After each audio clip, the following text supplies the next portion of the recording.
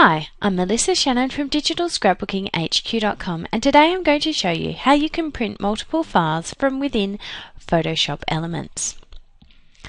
First thing I'm going to do is open up all the files that I want to print.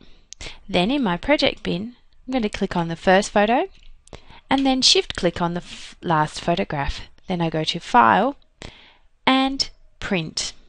I get this print dialog box. By default, you just have one printed photo per page. But if you want to have print multiple photos to one piece of photo paper on your home printer, you can do this within Photoshop Elements. You can go to Picture Package and it asks you to open up Organizer. So I click Yes, and then it takes me to the Photoshop Elements Organizer Print dialog, where I have more options to print multiple photos on one page.